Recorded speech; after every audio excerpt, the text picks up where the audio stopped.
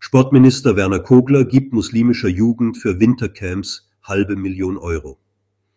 Heute werfen wir einen Blick auf die Förderpolitik des österreichischen Sportministeriums unter Leitung des grünen Ministers Werner Kogler. Ein kürzlich bekannt gewordener Fördervertrag zeigt, dass das Ministerium beträchtliche Summen für muslimische Jugendgruppen bereitstellt. Besonders auffällig sind dabei zwei Förderungen. Fast eine halbe Million Euro geht an die muslimische Jugend Österreich für Wintercamps und über 500.000 Euro an die muslimischen Pfadfinderinnen und Pfadfinder Österreichs für ihr Projekt Gemeinsam extrem stark.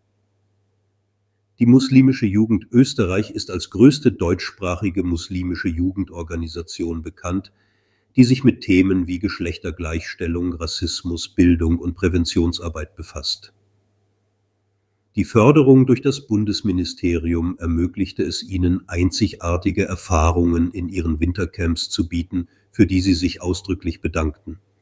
Auch die muslimischen Pfadfinder zeigten sich dankbar für die finanzielle Unterstützung, die ihnen ermöglichte, fünf Snow Days für ihre Mitglieder zu organisieren, inklusive Fahrtkosten, Unterkunft, Verpflegung und Wintersportkosten. Die Großzügigkeit dieser Förderungen wirft jedoch Fragen auf.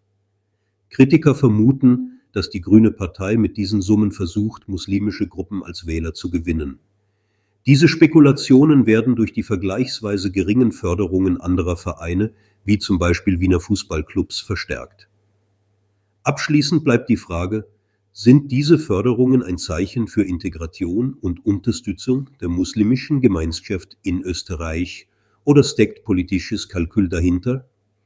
Eine Diskussion, die sicherlich weitergeführt wird. Aktuelle Nachrichten zum Lesen finden Sie auf unzensuriert.at oder unzensuriert.de.